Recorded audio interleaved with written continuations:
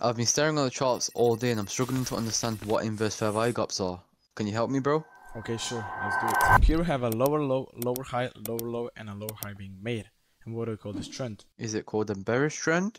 Amazing. And the thing that's resting below these lower lows is called sell side liquidity. So as we said, we have a downtrend. And here, the sell side liquidity got swept, which means that the price is giving us a reversal and the opportunity to get into a buy position. So as we said before, you're struggling to understand inverse fair value gaps. And what are basically inverse fair value gaps are fair value gaps of an opposite trend. So if we are looking to get into a buy position, into a bullish position, we need to find a bearish fair value gap that didn't get respected. So as I said before, we have a sell side liquidity that got swept, which means the price is giving us a reversal, and we have a bearish fair value gap here, which didn't get respected. What does that mean? That means that the price broke above it, and it's retracing back to it to give us a buy position to enter off. Do you get me now? Yeah.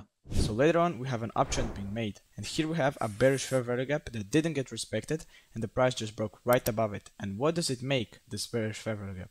An inverse fair value gap? Amazing and the price is offering us a buy position right off this inverse fair value gap. So if you guys didn't understand this video, check my page for more videos and to understand fair value gaps more.